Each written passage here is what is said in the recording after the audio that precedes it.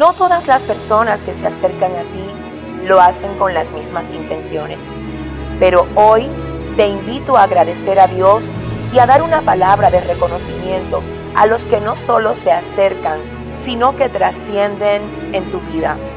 Porque te aman por lo que eres y no por lo que tienes. Porque te brindan su apoyo incondicional siempre que lo necesitas. Porque consideran tus asuntos como parte de ellos. Porque están presentes en tus buenos, pero también en tus malos momentos. Porque son los primeros que te ayudan a levantarte cuando caes y a fortalecerte cuando te debilitas. Porque te confrontan y te dicen cuando actúas bien, pero también cuando actúas mal. Porque celebran tus victorias y te sirven de soporte cuando las cosas no salen del modo como esperabas. Así es que hoy, por ellos, por esas personas de valor incalculable que han llegado a tu vida, te invito a que saques un momento para agradecer al Señor.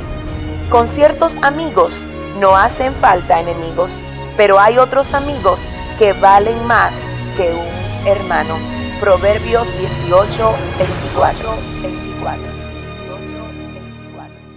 18, 24.